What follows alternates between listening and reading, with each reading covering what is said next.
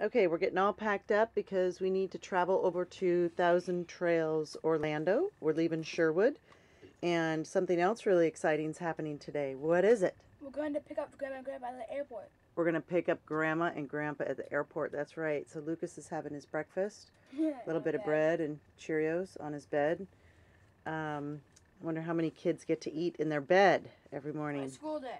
on a school day. But how many kids also have their bed as the couch?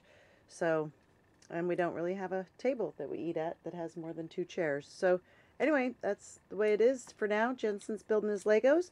We're excited to see Grandma and Grandpa. And we're saying goodbye to Sherwood Forest in Kissimmee, Florida.